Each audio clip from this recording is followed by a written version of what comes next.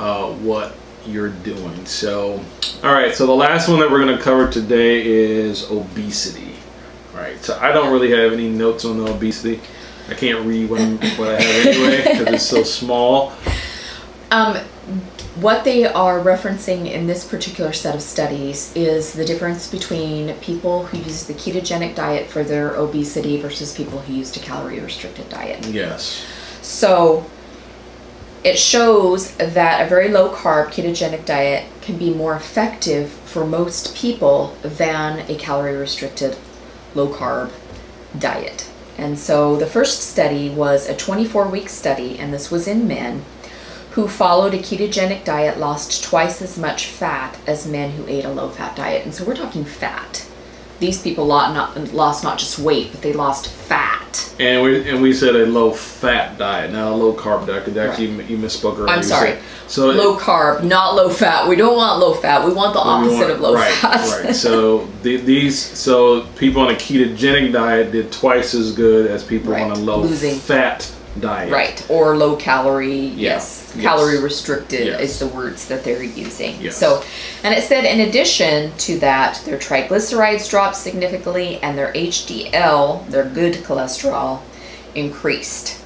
So, part of that is not just practicing ketogenic diet, but overall weight loss can help those things as well. For some reason, your body reacts very well when you lose a significant amount of weight as far as your numbers getting better. So. Right. And, and one of the things I, I noted here is that um, it says the ketogenic diet's ability to reduce hunger is one of the reasons why they work so well for weight loss. Right. It's because people aren't aren't hungry. Right. And so because they're allowed to eat yes. more I wouldn't say as much as they want because I mean you can still run into trouble if you're like nonstop eating even on the ketogenic yes, diet. But believe me, I know that. as opposed to calorie restriction where you're only given a certain allotment every day and you have to stay within that the ketogenic diet allows you more freedom in the ability to eat uh, more satiating foods and not have to stay necessarily within a calorie budget. So it can be a little bit easier to stick to, like CJ said, because you're not as hungry. Yeah. So. And I think people who do keto and, and actually, you know, I've met people who do keto and then they stop, they get off of keto completely. Um, I know one person that I can think of who she told me she lost about 150 pounds off of keto, doing keto, and uh, I don't think she's really practicing keto pretty all that strictly right now.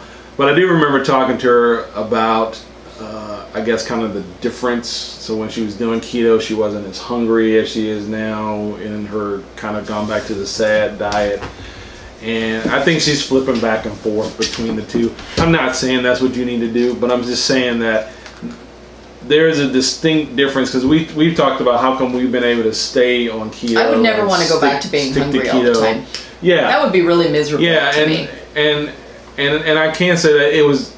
It's different. It's not like it is. It's not know, like a regular to, diet where you you know feel like you're deprived. I so. talked to Becca about that. My sister. We were talking about that just like a week ago, and how you know 10 years ago we had practiced you know calorie restriction together because yeah. i was living with her at the time and you know we, we would go and get like you know smart ones or michelinas or whatever because they were a certain amount of calories sure and so you would you would eat that and it was almost like eating a jenny craig or whatever because this was your allotment of mm-hmm. your serving size and your calorie size